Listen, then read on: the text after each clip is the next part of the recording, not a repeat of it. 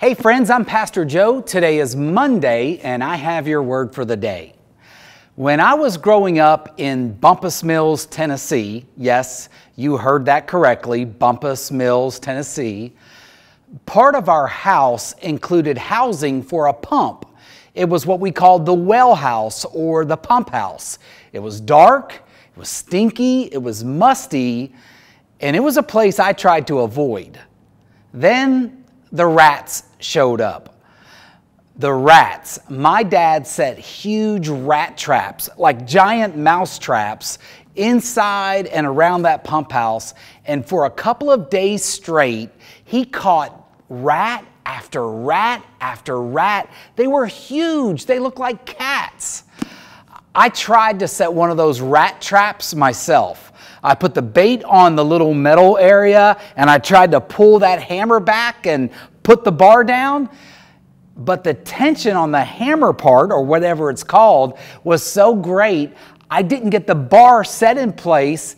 And when I pulled my hand back, the trap nearly took my fingers off when it snapped back into place.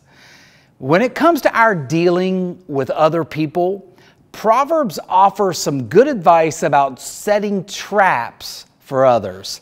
Proverbs 26, 27 says this If you set a trap for others, you will get caught in it yourself. If you roll a boulder down on others, it will crush you instead. This principle is reminiscent of what the Apostle Paul writes in Galatians 6 7. He writes, Do not be deceived, God cannot be mocked.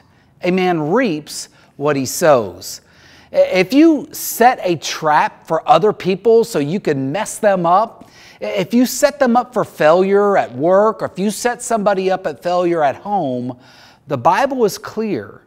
You're only going to mess yourself up in the process.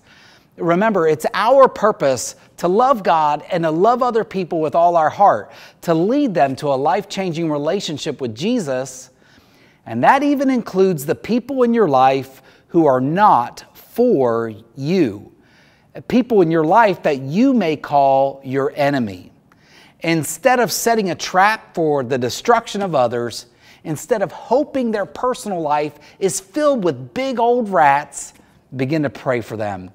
Ask God to turn their hearts toward Him and that they would surrender their lives to Jesus. If today's word for the day has blessed you, like it, apply it, or leave a comment. God bless.